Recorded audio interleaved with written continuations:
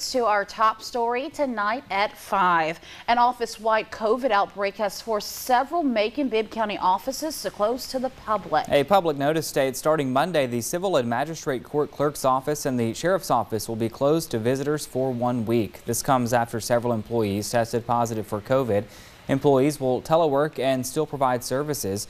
Court cases scheduled for Monday will now take place on Friday, January 21st. You will get a notice in the mail about that change.